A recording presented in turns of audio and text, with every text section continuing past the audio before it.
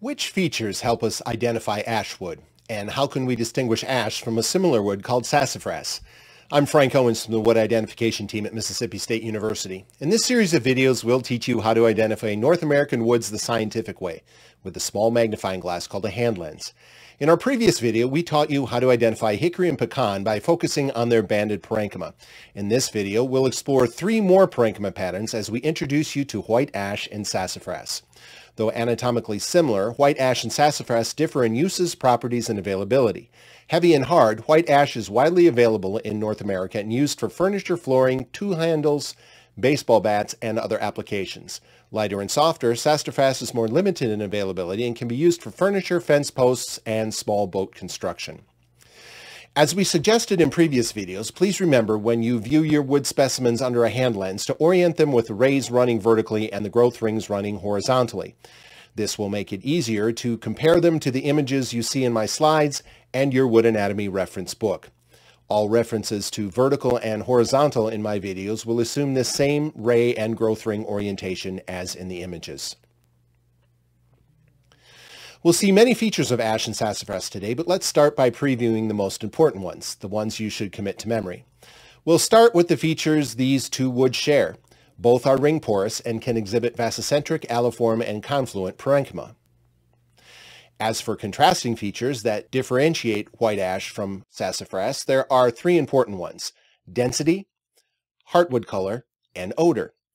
Keep these lists of most important common and contrasting features in mind as we look at these and other features in detail. Now let's take a closer look. We'll start with some contrasting physical characteristics. White ash is heavy and hard, while sassafras is much lighter and softer. The heartwood of ash is light brown or grayish brown, while the heartwood of sassafras is grayish in color, sometimes with an olive hue. And while ash lacks a characteristic odor, sassafras has a spicy odor similar to root beer. Next, let's look at some anatomy. We'll start on the tangential surface. Both ash and sassafras have what we call uneven grain, that means you can clearly see a visual contrast between the early wood and late wood on the tangential surface. Now let's move to the radial face. While you might notice some ray fleck in both images, the flecks are not big and prominent like we saw in the oaks, so there really isn't much to remember on the radial face. Finally, let's look at some transverse features.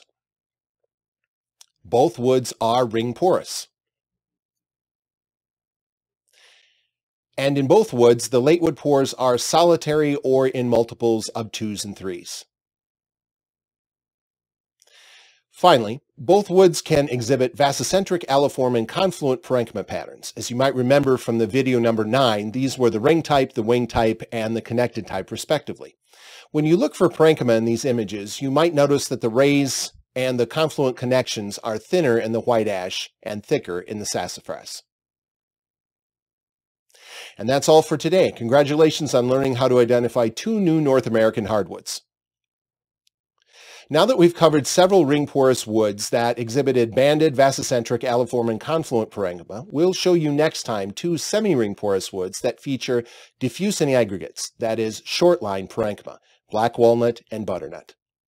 If you're interested in learning how to identify wood the scientific way, please like this video and subscribe to our channel. We'll be rolling out new videos over the next several weeks. In the meantime, if you have a wood specimen you want scientifically identified or in-person or online training for yourself or your company, please send me an email at frank.owens at msstate.edu. This video has been brought to you by Mississippi State University Extension, taking care of what matters.